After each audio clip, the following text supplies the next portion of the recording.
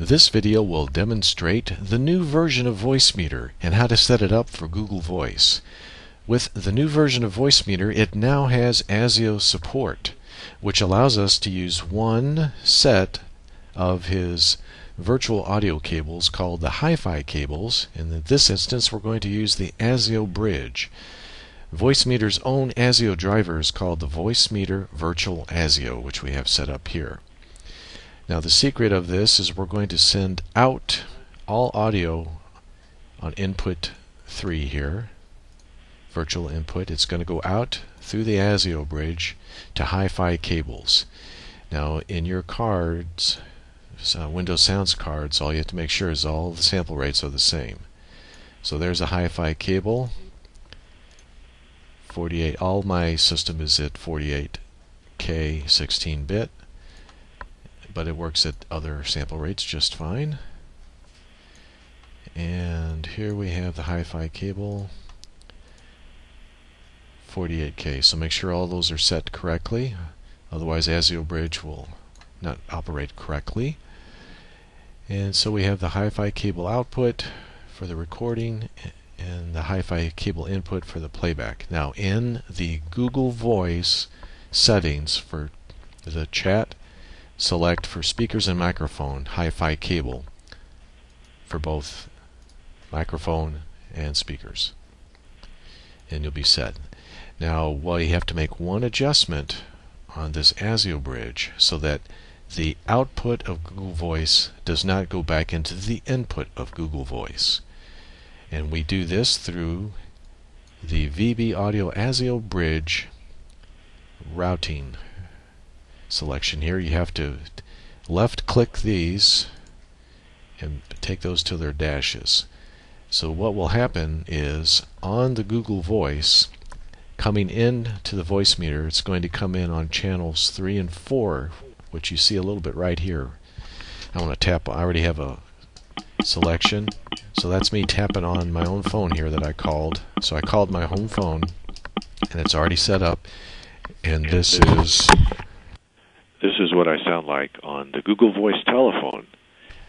And we're back to my regular microphone. Anyway, because we're coming in on 3.4, it does not go back out on 1 and 2, which is a very nice feature. So that allows us to use the ASIO bridge itself and its hi-fi cables for the input and output of Google Voice.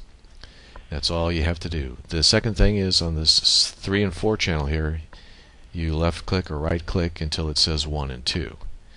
And that will get the second column where you see this rising right there. And that will allow you to use this ASIO bridge. That opens up an input channel now.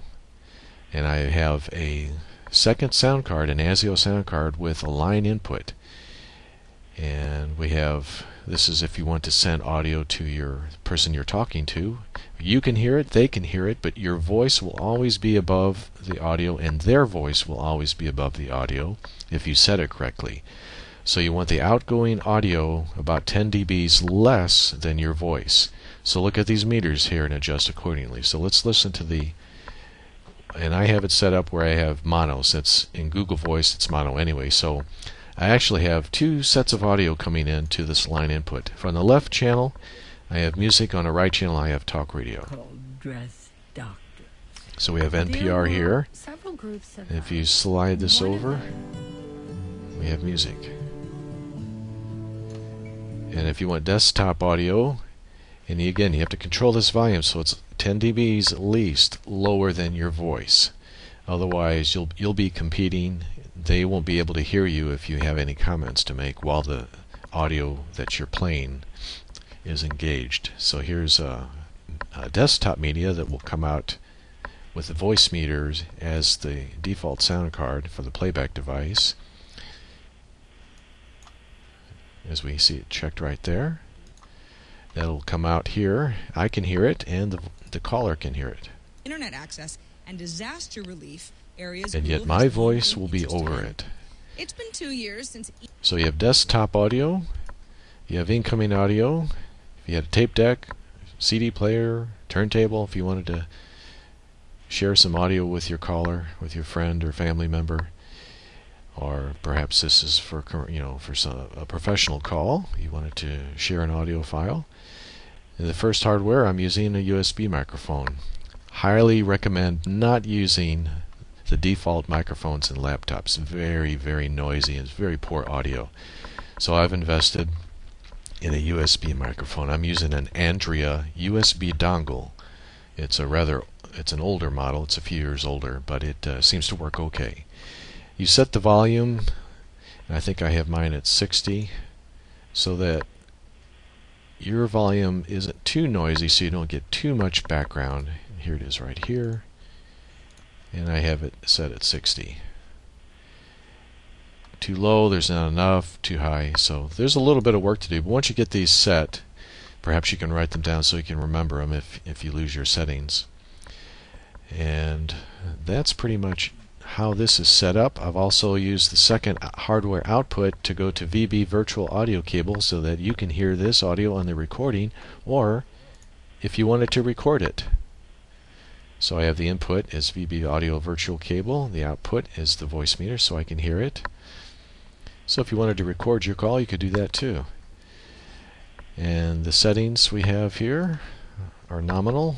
I'm using 48K for everything, so I have all Windows sample rate, I have all sound cards and virtual sound cards set to 48K, and I'm using the 480 for the buffers. And just using uh, the exclusive mode as no and engine mode as normal. And that's pretty much it. Uh, having all this audio available and this Voicemeeter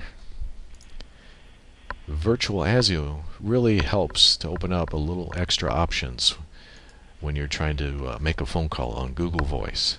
Thanks for watching.